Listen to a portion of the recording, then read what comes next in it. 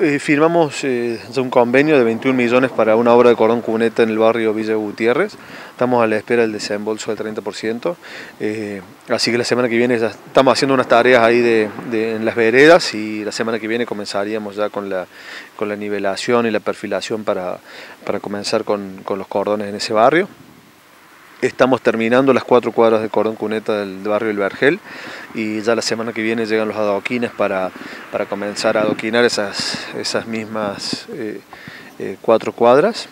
Eh, también bueno, terminamos una tercera etapa de la biblioteca, que fue el techo, algunas instalaciones eléctricas y bueno, ya nos queda la cuarta y última etapa que son los detalles, los pisos, bueno, las aberturas y ya estaría concluida esa obra también que es de, es de suma importancia para, para el pueblo. ¿no?